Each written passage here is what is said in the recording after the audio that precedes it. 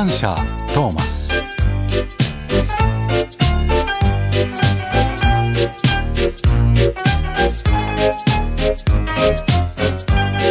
レニアスのジェットコースターというお話。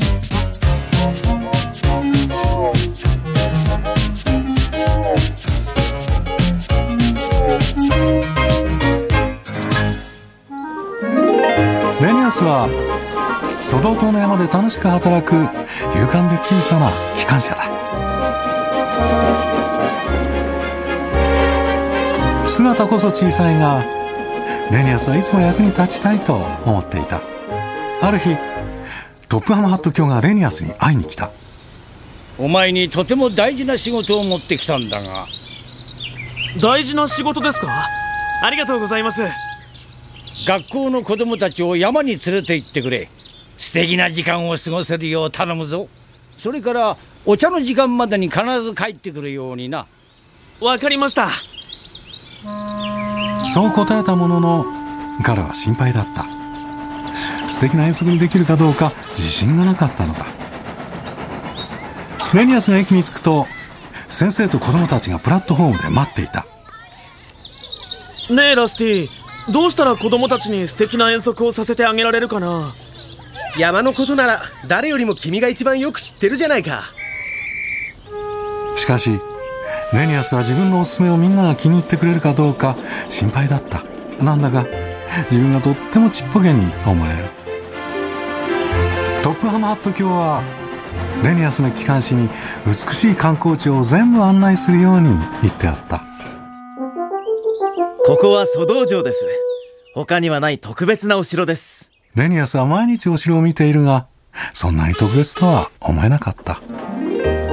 何かワクワクすることを考えなきゃ。ここから草原が一望できます。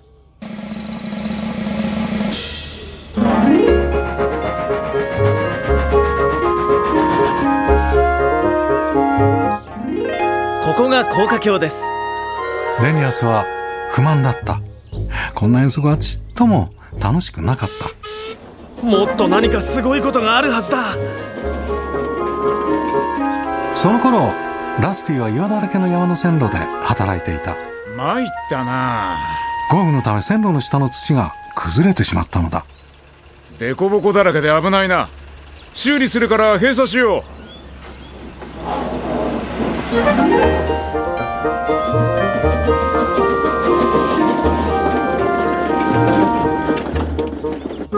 レニアスは思い出に残る遠足にするにはどうしたらいいかと頭を悩ませていた。そのため作業員が線路のポイントを切り替え忘れていたのを見逃してしまった。気がつくとレニアスは違う線路に入っていた。しまった。これは修理のために閉鎖している路線だ。ああどうしよ気をつけろ。この線路はデコボコだらけだぞレニアスはジェットコースターのように山を駆け下りた。子供たちは大喜びだ。レニアスは岩山を力を振り絞って登っていく。彼の客車が後ろでガタゴト大きく揺れている。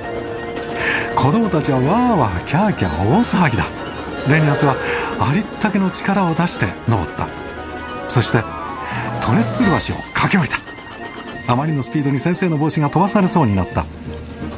滝の下を水しぶきを上げて駆け抜ける。子供たちが歓声を上げ先生は目を覆った。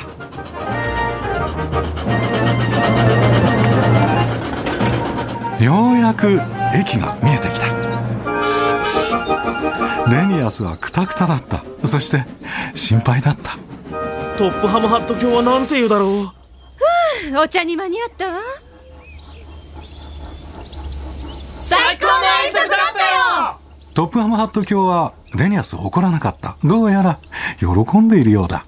子供たちに素敵な遠足をさせてあげたようだな。お前は本当に役に立つ機関車だ。ありがとうございます。レニアスは誇らしかった。もう自分がちっぽけだなんて感じることはない。この話の視線はラスティとレニアスでした。